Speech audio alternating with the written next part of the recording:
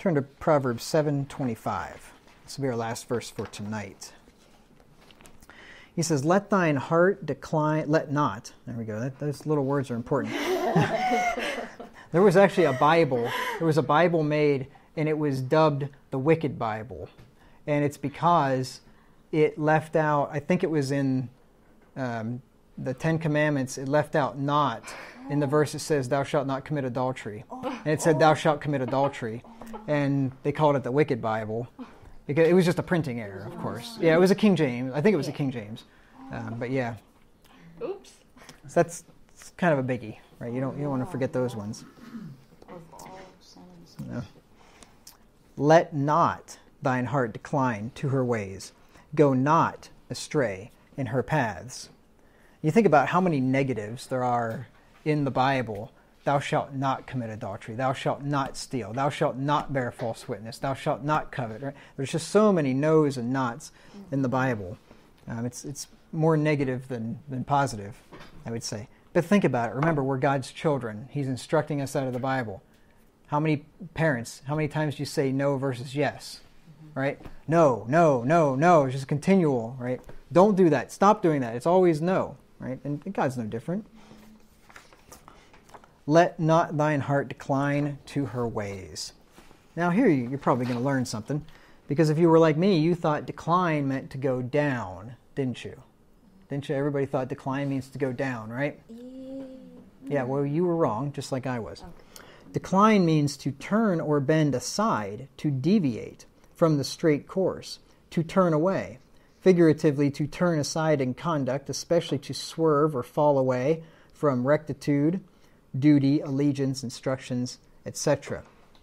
So when you decline, you're just going astray, left or right. I mean, it could be down, I suppose, but primarily it's, it's off the path, left or right. And this is why it is important to define terms, especially when you're reading the King James Version with an old dictionary, because word meanings have changed. And that's why a lot of times, especially when I'm doing a book study, when I'm just going verse by verse, I'll often define most of the words, unless it's just a very common word that I know for sure that I know the definition of.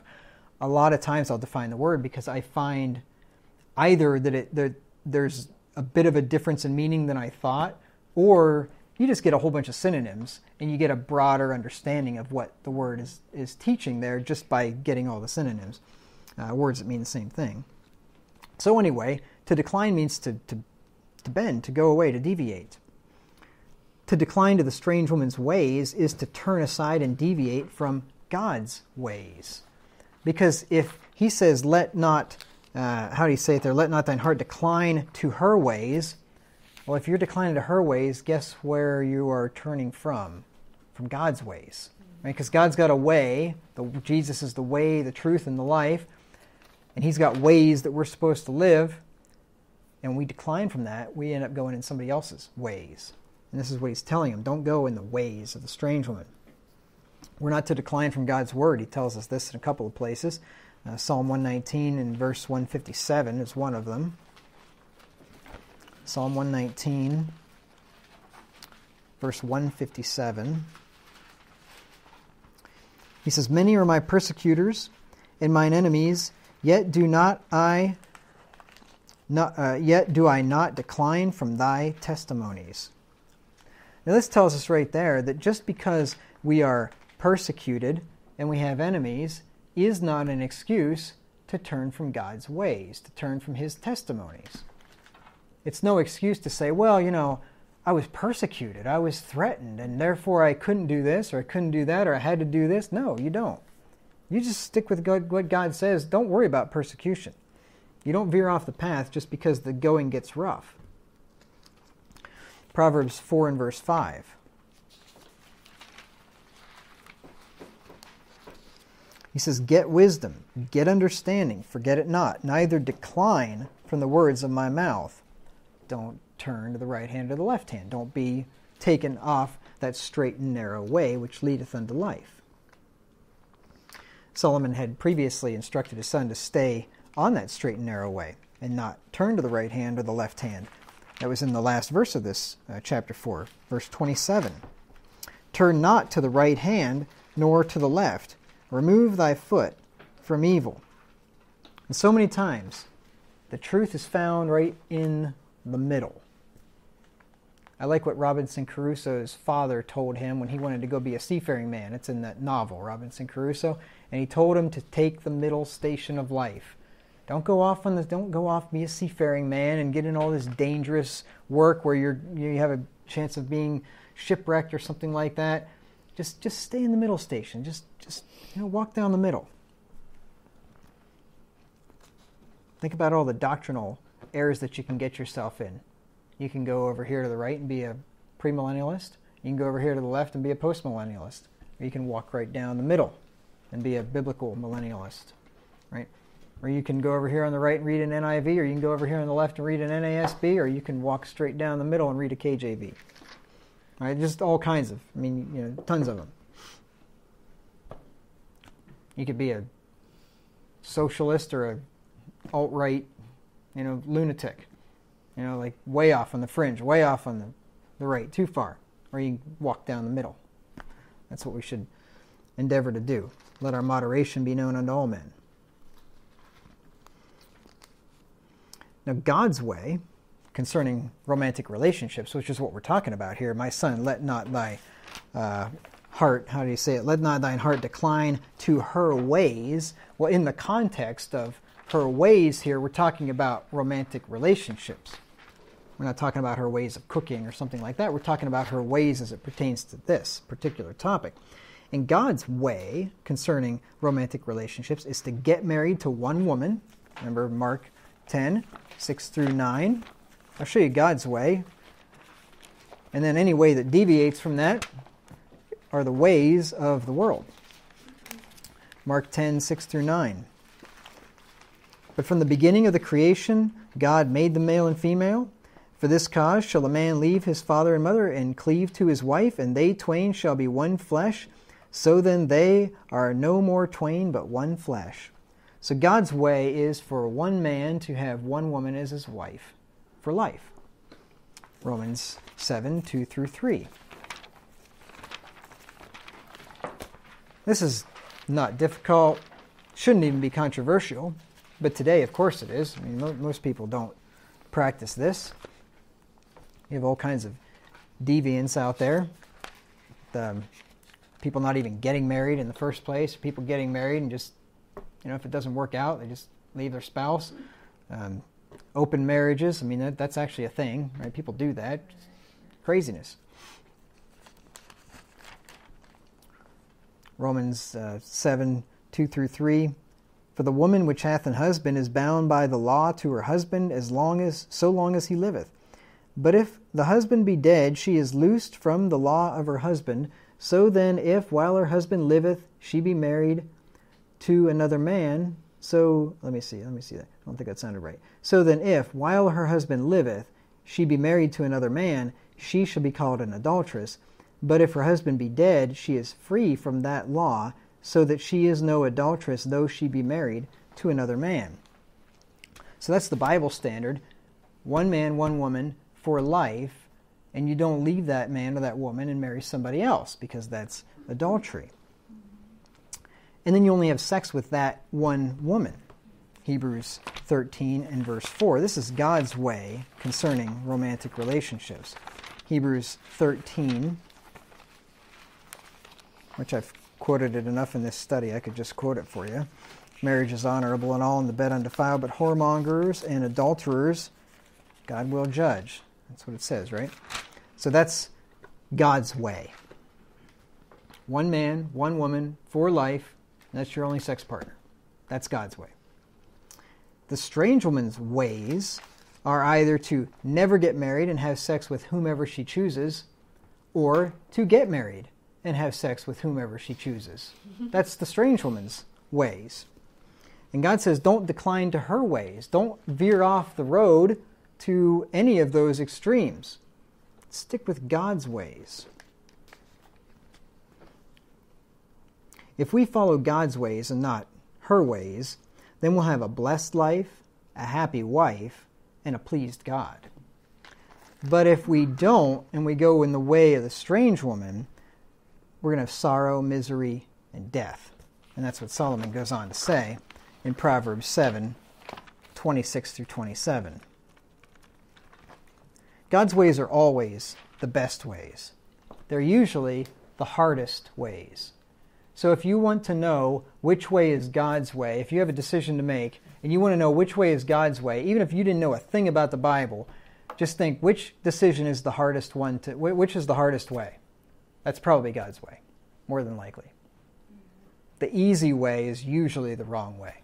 The easy way is to do whatever brings instant gratification. The hard way is to make the hard decisions which bring lasting joy and peace and prosperity and things like that. But it's usually the hard way. Uh, Proverbs 7 uh, 26 through 27. For she hath cast down many wounded, yea, many strong men have been slain by her. Her house is the way to hell, going down to the chambers of death. I think it's interesting that um, Solomon's saying that you know you let not your heart decline unto her, and in Proverbs sixteen nine it says, "A man's heart devises his way." Mm-hmm. So it's like, how do you say? It's like he's basically telling him, "You guide your heart or your desire mm-hmm. to the right way." Right. Yeah, and he says in another place that, uh, "Guide thine heart in the way." Yes. Yep, that's right. Yeah, we all devise our ways, but then the rest of that verse says, the "But Lord the Lord directeth his steps." Right. But yes, we devise the ways, but make sure that the ways that we're devising are in accordance with what the Scripture says, and that's how the Lord directs your steps by giving you the wisdom to walk in the in the path that He's laid out for you. And then Solomon says, "And go not, or go not astray in her paths." Astray means out of the right way, away from the proper path, wandering, away from the right, in or into error or evil. It's uh, similar to decline. When you decline, you go astray, and vice versa. Now, the paths of the strange woman incline unto death. This is interesting incline, decline. Um, Proverbs 2 and verse 18.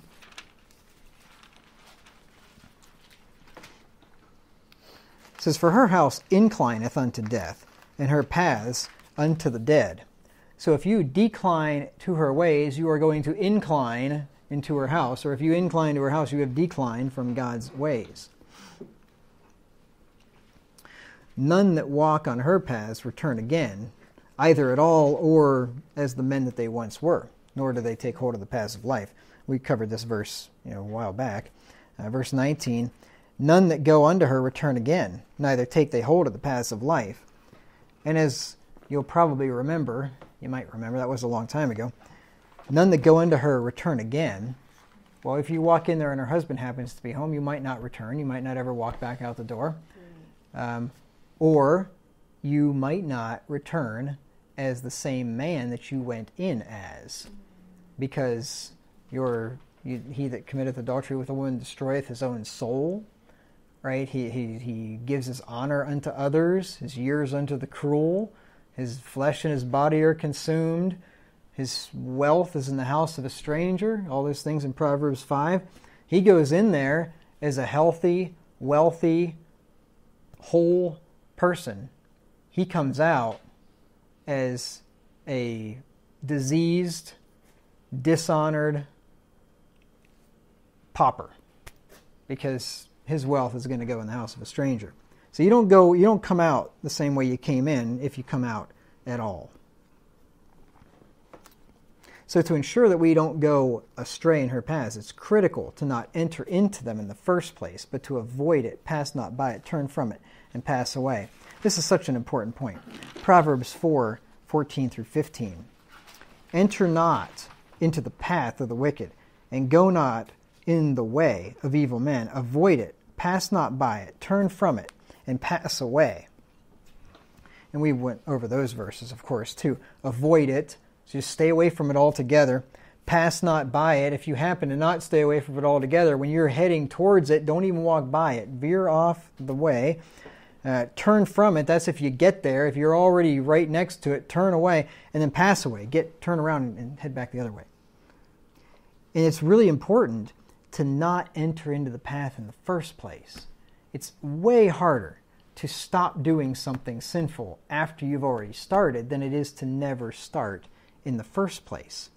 Right? It's a lot easier to stay on the right path than it is to try to find your way back to it after falling in a ditch or wandering out into the wilderness. I mean, think about it. Like, it's, it's a lot easier to never drink too much alcohol in the first place than it is to go through a 12 step program after years of it and try to get yourself sober again, right? Just as one example. Or if you get an addiction to anything, it's way easier never to look at internet pornography in the first place than it is to try to get all those images out of your mind, which you will never do. They'll always be up there, and you're going to have a struggle after that point. It's way easier to not start down that path. And there's all kinds of other examples um, I'm sure you could think of. So that's why he says, Go not astray in her paths. Because it started out, if you'll remember, where he says, He went down the way to her house. Remember there in verse 8, passing through the street near her corner, he went the way to her house. That was his first mistake. If he would have not gone astray in her path, if he would have never even walked towards her house where he knew the temptation might have been, if he would have made not provision for the flesh to fulfill the lust thereof, he would have never ended up in her house. That's why it's really important not to go astray. Stick to the straight and narrow. Don't veer to the right hand or to the left.